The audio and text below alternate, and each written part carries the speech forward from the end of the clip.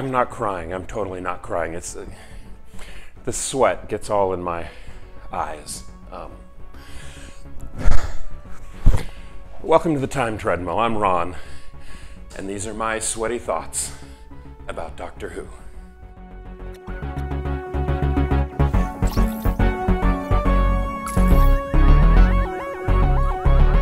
Oh. A lot of great firsts in the Dalek invasion of Earth. I mean, first return of a recurring villain, first episode shot in a English quarry, first first departure of a companion, and the first great Doctor Who monologue.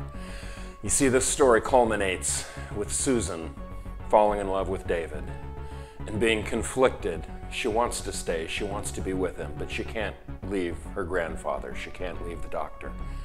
She says he's growing old and he needs her. But the doctor, he knows. He knows what's going on. And he leaves her behind, but not without giving a speech for the ages, saying goodbye to her, and uttering these words. He says, One day I shall come back. Yes, I shall come back. Until then, there must be no regrets, no tears, no anxieties. Just go forward in all your beliefs and prove to me that I am not mistaken in mine. If there is truly a first great moment in Doctor Who, this is it. A stupid educational children's show that still manages to send off one of the original cast members in a truly great way, and, and I love it. Now, another key first I have to point out in this episode is that this is the first time that the Daleks actually say exterminate. In the first Dalek story, they did use the word extermination, but it's not quite the same. This is the first time in the final episode as they're preparing to destroy the Earth's core and gut it to turn the Earth into a giant spaceship, a uh, Star Killer base, if, uh, if you're Star Wars fans out there this weekend.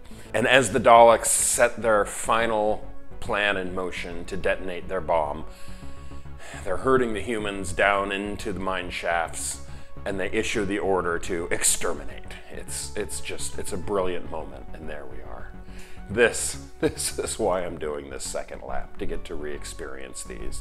This is a story that I could watch over and over and never have it get old. And, and I'm just saying to you, if you are not a Doctor Who fan, you're a casual fan, you're someone who's a fan of the new series, maybe you love David Tennant or Matt Smith, and you're considering dipping into classic Who, I will tell you this one. This is the one to dig up and watch Dalek Invasion of Earth. I love this story so much. Now, that being said, tomorrow, tomorrow is my last story to watch before Christmas break.